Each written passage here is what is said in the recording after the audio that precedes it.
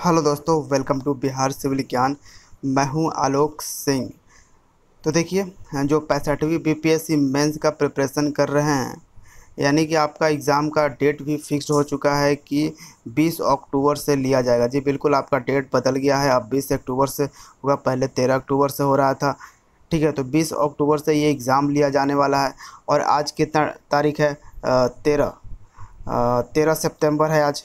ठीक है यानी कि लगभग एक महीना से ज़्यादा, लगभग छत्तीस से सैंतीस एडिटोरियल हम करेंगे पूरे आपके एग्ज़ाम तक। और ये आपको एग्ज़ाम में लिखने में काफ़ी अच्छा खासा बेनिफिट देगा। बस आप डेली पंद्रह से बीस मिनट का ये वीडियो होगा आप डेली इसको बस देख लिया करना और आप जो प्रैक्टिस जिस तरह से कर रहे हो अपना राइटिंग प्रैक्टिस वो उस तरह से आप करते रहना। आपको उसमें कोई चेंजेज लाने की ज़रूरत नहीं है क्योंकि आप, आप आपका जो एग्ज़ाम है बहुत ही नज़दीक है। ठीक है तो यहाँ से आपको बहुत सारी चीज़ें मिलती रहेगी।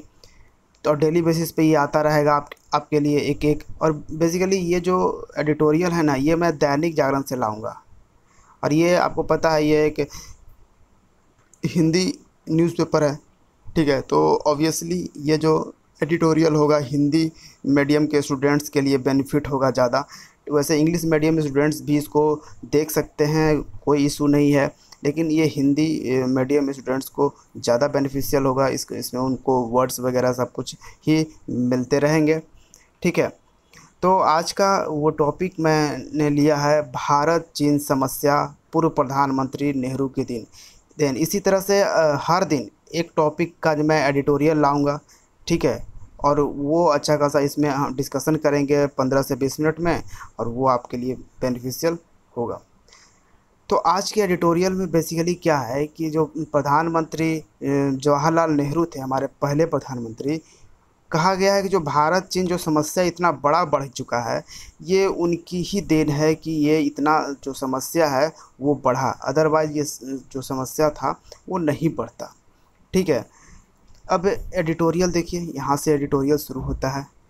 तो यहाँ देखिए उन्नीस सौ बासठ के बाद लद्दाख की पहाड़ियों पर युद्ध के बादल एक बार फिर घुमड़ने लगे हैं। इसका एक कारण तो अहंकारी चीन की विस्तारवादी प्रवृत्ति और दूसरा, आज़ादी के बाद हमारे नेतृत्व को भयानक भूले। ठीक है, हमारे नेतृत्व की भयानक भूलें। तो यहाँ पे देखिए क्या, यहाँ पे कहा जा रहा है कि जो हमारा हम मतलब चीन का जो क्या नीति है किसके कारण जो है बॉर्डर पे इतने ज़्यादा कॉन्फ्लिक्ट हो रहे हैं, इतने ज़्यादा टेंशन बढ़ा हुआ है? तो चीन का पहला है कि विस्तारवादी नीति, ठीक है? पहला विस्तारवादी विस्तारवादी नीति है पहला। दूसरा क्या है? दूसरा यहाँ पे ये बताया गया है कि लीडरशिप नेतृत्व, जो हमारा नेतृत्व रहा है पहले से, वो बहुत ही ख़राब रहा है। ठीक है, उनकी बहुत ही जो है, बहुत भूल कर चुके हैं। उसके कारण ये दो प्रॉब्लम, या समस्या जो हो रही है, वो है। ठीक है, उसी के कारण। इसमें बताया गया है कि दृष्टि तिब्बत को स्व स्वायत्तता शासी बफर राज्य बनाए रखना ब्रिटिश शासन की नीति थी और उसी दृष्टि से उसने 1914 का त्रिपक्षीय सीमा समझौता किया था जिसे मैकमोहन लाइन के नाम से जाना जाता था। कहा गया है कि जो ब्रिटिश था वो चाहता था कि अभी जो तिब्बत है आपको पता है जो तिब्बत अभी है वो चीन के कब्ज़े में है। लेकिन तिब्बत जो है कभी भी चीन के साथ नहीं रहना चाहता था। तिब्बत हमेशा से इंडिपेंडेंट रहना चाहता था। लेकिन 1914 का त्रिपक्षीय ट्रिपटाइट जो आ, सीमा समझौता हुआ था वो इसी के कारण हुआ था। और मैकमोहन लाइन मैकमोहन लाइन किसके किसके बीच में है? तो चीन और भारत के बीच का जो बॉर्डर लाइन है, उसको मैकमोहन लाइन कहा जाता है। लेकिन चीन आज भी मैकमोहन लाइन को नहीं मानता है। ठीक है? चीन में अक्टूबर उन्नीस सौ की बात कर लीजिए 1949 की, माओ सत्ता में आया। वहाँ जो उस वक्त माओ थे वो सत्ता में आए और 1950 में चीनी सेना कोरिया में अमेरिका के विरुद्ध युद्ध में कूद पड़ी। इसके साथ ही चीन ने तिब्बत पर नियंत्रण के लिए सेनाएँ रवाना कर दी। देखिए, क्या क्या था कि पहली बात कि जो चीन था, वो उत्तर कोरिया से युद्ध में लड़ा, लगा हुआ था। अगर हमारे, और यह बॉर्डर पे भी कॉन्फ्लिक्ट जारी रखा था लेकिन अगर हमारा देश का जो बॉर्डर था, वहाँ पे अगर जवाहरलाल नेहरू जी अपनी सेनाएँ भेजते, वहाँ उसे बोलते तो शायद वो चीज़ें बच जाती। जैसे मैं आपको अभी पूरा मैप दिखाऊँगा, जिससे आपको सारा कुछ क्लियर हो जाएगा। यहाँ पे लिखा गया है कि ब्रिगेडियर दलवी अपनी पुस्तक हिमालय ब्लंडर ये एक नाम याद रखिएगा। ये किताब का नाम है तो इस किताब को, नाम को याद रखिएगा। ये आपके लिए काफ़ी बेनिफिशियल होगा, आपको लिखना होगा तो ये लिख सकते हो। ये नाम है हिमालयन ब्लंडर। हिमालयन ब्लंडर नाम का ये जो पुस्तक है, इसको लिखा था उस वक्त के ब्रिगेडियर दलवी ने। वो कहते थे कि अक्टूबर 1950 की बात है। एक दिन अचानक जनरल लेंटेन उद्गिन होकर लेक्चर हॉल में आए और कहा, तुम्हारे नेताओं की अकर्मण्यता के कारण चीन ने भारत के उत्तर में आज एक बड़ा दरवाज़ा खोल दिया है। तुम्हारी मुश्किलें कितनी बढ़ जाएँगी, इसका तुम्हें अंदाज़ा ही नहीं। मतलब कि जो सोल्जर हैं, ब्रिगेडियर दलवी साहब हैं, उनको ऐसा कहा गया। ठीक है, कि उनकी जो नेता है, यानी कि जो जवाहरलाल नेहरू का नेतृत्व था उस वक्त तो उनकी वजह से एक चीन ने भारत में एक नया दरवाज़ा खोल दिया। आपको पता है, अक्साई चीन जो उसने ले लिया, जैसे मैं आपको इसका ना पूरा पहले बता देता हूँ, मैप। यहाँ देखिए पहले। इस मैप को पहले आप देखिए, बढ़िया से। ये पूरा जो डिस्प्यूटेड रीजन है, जो तिब्बत से है, पहले यहाँ पे देख सकते हैं, अरुणाचल प्रदेश में यहाँ, या ये वाला पार्ट है, ठीक? फिर यहाँ पे अक्साई चीन ये वाला पार्ट है, फिर यहाँ पर डिस्प्यूटेड है, फिर ये उत्तराखंड में भी डिस्प्यूटेड रीजन बताता है। फिर कुछ दिन पहले ये तो भूटान से भी अब डिस्प्यूटेड रीजन बताने लगा था, ठीक है? तो ये इस तरह है और इसको मैं अब आपको जम्मू कश्मीर पे आप, हम आते हैं बेसिकली फोकस करते हैं।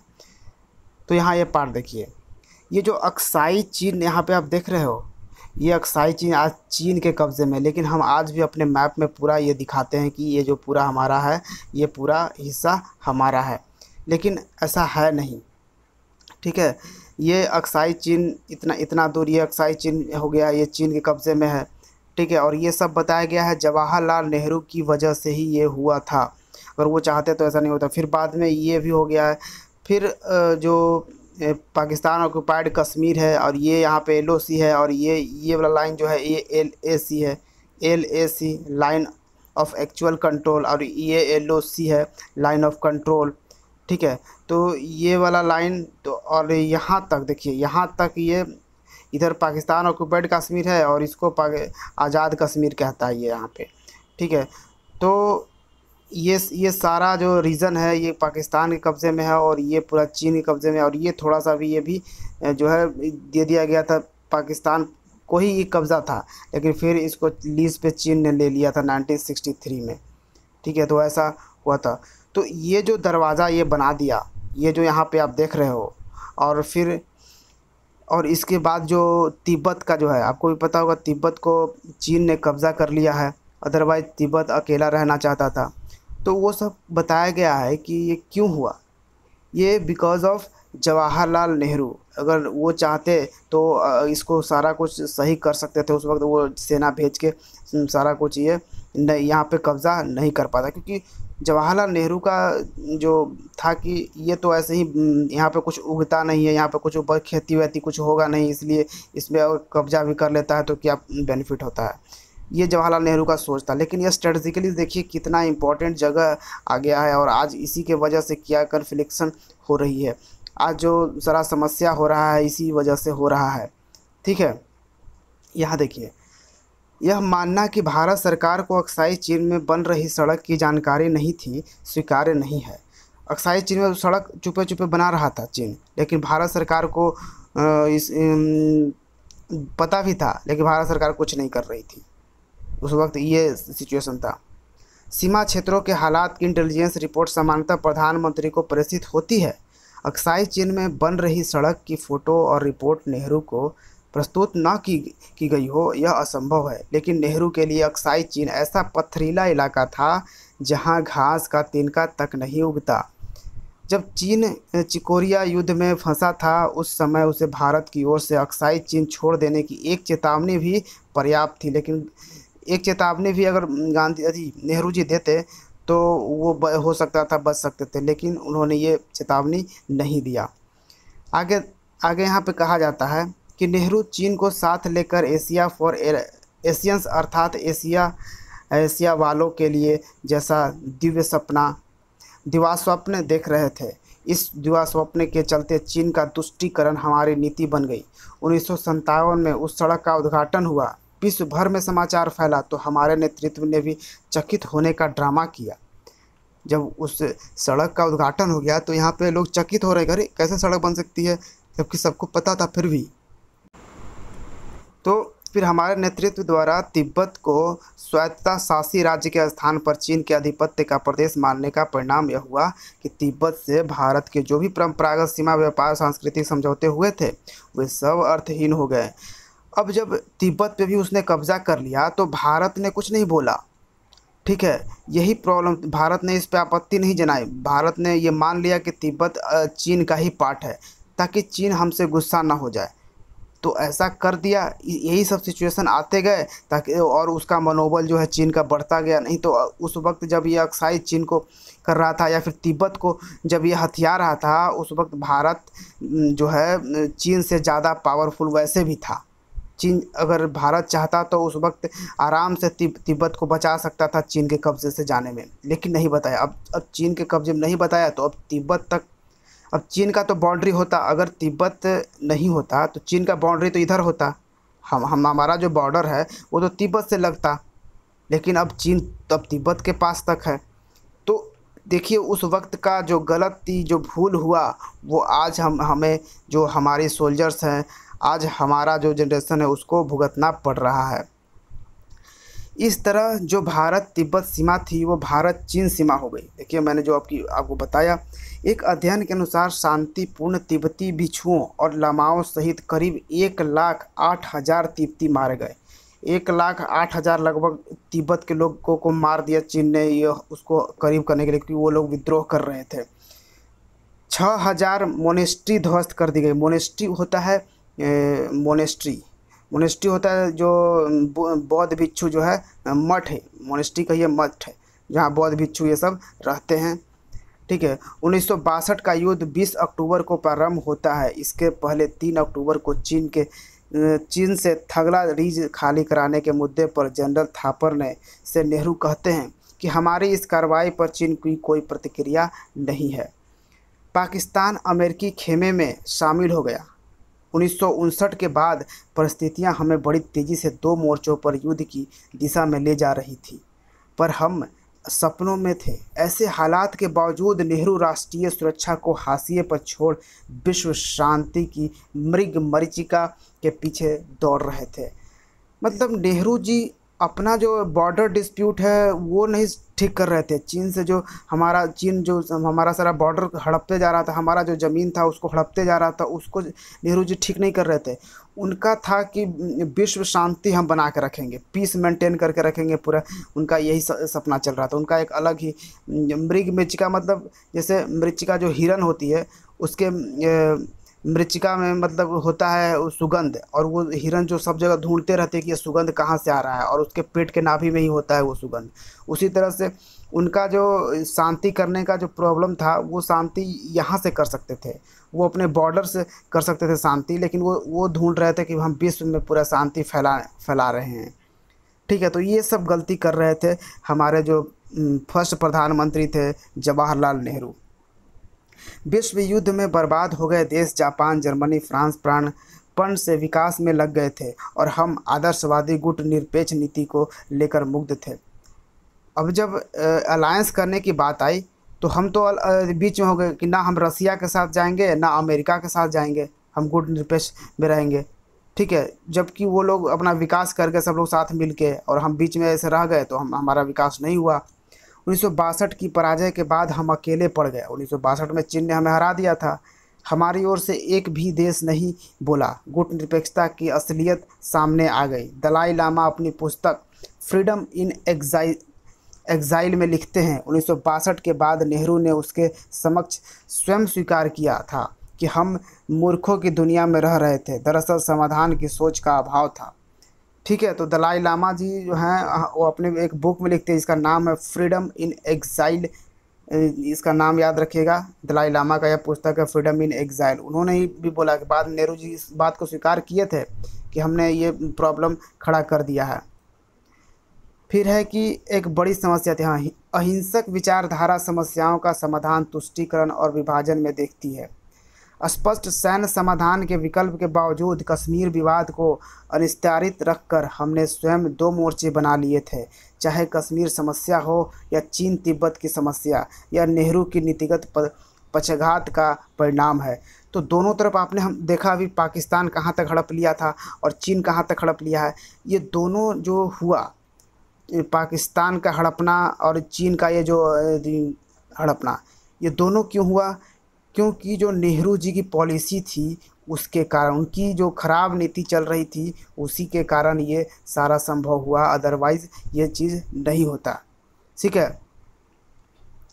फिर यहाँ पे कहते हैं, ये जो लेखक हैं, चीन से उत्तरी सीमा पर युद्ध की स्थिति यहाँ ही बन, बनती। यदि पूर्व की ब्रिटिश शासन की तिब्बत संबंधी नीतियों और शीत युद्ध के दौर की ज़मीनी सत्ता, शक्ति के समीकरणों को संतुलित करते हुए राष्ट्रहित के लक्ष्य को प्राथमिकता दी गई होती। ऐसा न करने के घातक परिणाम हुए, पर यह उन्नीस सौ बासठ नहीं है। आज की बात कर जा रही है कि आज उन्नीस नाइनटीन नहीं है, जब चीन ने भारत को हरा दिया था। गलवन के बलिदान से नया अवतार ले चुकी भारतीय सेना द्वारा 29 30 अगस्त को आपको पता होगा 29 30 अगस्त को ब्लैक टॉप को कब्ज़ा कर ले कर लिया था भारत ने। ब्लैक टॉप एक जगह है वहाँ पे। पहाड़ियों के पास तो उसको कब्ज़ा कर लिया था इंडियन सोल्जर्स ने। रात लद्दाख में कई चोटियों पर कब्जा कर क्षेत्रीय वर्चस्व कायम करना चीन के लिए अकल्पनीय है। चीन सीमा पर पचास हज़ार सेनाएँ मिसाइलें, रॉकेट, टैंक बढ़ा रहा है। चीन प्रत्याक्रमण पर भारतीय प्रतिक्रिया चुशुल सेक्टर में स्थानीय युद्ध में बदल सकती है। तो चीन जो है, एक तरह से आपने देखा कि पाँच पॉइंट उसने बताया भी है। ठीक है, हमने आपको आज आज के यानी कल के जो वीडियो थे, उसमें मैंने आपको समझाया था डे न्यूज़ पेपर एनालिसिस में। पाँच पॉइंट जो थे, जिस पर हस्ताक्षर किया गया। और उधर क्या है कि वो भले ही बहुत बहुत सारा हस्ताक्षर ये ये, वो हो जाए, लेकिन चीन जो है, वो अपना रवैया छोड़ेगा नहीं, वो अपना नेचर छोड़ेगा नहीं। और ये सब क्यों हुआ? पूरी की पूरी घटना क्यों हो रही है आज? आज हम जो बॉर्डर डिस्प्यूट ये झेल रहे हैं, इधर इधर पाकिस्तान से और इधर चाइना से, क्यों झेल रहे हैं? बिकॉज़ ऑफ़ नेहरू जी, अगर वो उस वक्त इस चीज़ को माने होते कि नहीं, जो अक्साई चिन्ह है, वो इम्पोर्टेंट पार्ट है हमारा तो आज का ये सिचुएशन नहीं होता। ठीक है? और उन्हीं की नीति में ये भी हुआ कि पाकिस्तान ये इस जगह को ऑक्युपाई करने में कामयाब रहा। तो इस जो आज का जो ये था पूरा एडिटोरियल ये इसी चीज़ पे बताता है, पूरा हिस्टोरिकल इम्पोर्टेंस है इसका पूरा, किस, कैसे कैसे ये चीज़ें हुई और कौन सी बुक में लिखी गई है, कौन से ब्रिगेडियर थे, उन सब के बारे में हमने आपको आज के इस वीडियो में डिस्कस किया है। तो ऐसे हम डेली एक एक टॉपिक पे सिर्फ़ एक ही टॉपिक रहेगा, आप बढ़िया से इसमें समझ पाओगे, चीज़ें जान पाओगे, ठीक है। तो इसी तरह से बने रहिए। और हाँ शेयर ज़रूर कीजिए क्योंकि आप, आपके यानी कि मेंस एग्ज़ाम के जो प्रिपरेशन कर रहे हैं उन्हीं स्टूडेंट्स के लिए ये मैं स्पेशल बना रहा हूँ ये वीडियो तो आप उसको ज़रूर शेयर कर दीजिएगा ताकि आपको ये रहेगा। ये हमारा एक रिक्वेस्ट आपसे रहेगा। बाकी पढ़ते रहिए। And thank you for watching Bihar civil Gyan. See you in the next video